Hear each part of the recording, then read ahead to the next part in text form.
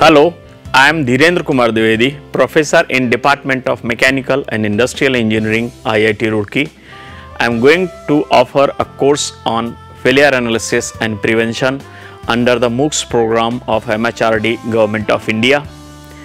The postgraduate students, research scholars of production engineering, metallurgical engineering and mechanical engineering will find it suitable for their academic programs. The course will also be useful for the practicing engineers of all types of the industries wherever either mechanical components are used or manufactured. Objective of the course include highlighting the fundamental sources of failure, providing the general procedure of failure analysis of mechanical component so as to avoid the reoccurrence of similar type of failure. Failure of the mechanical components during the service is inevitable.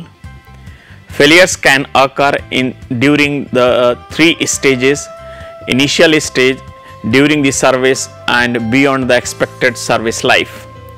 The failure analysis and prevention helps to identify the causes of the failure so as to avoid the reoccurrence of the failures and take by taking the corrective action.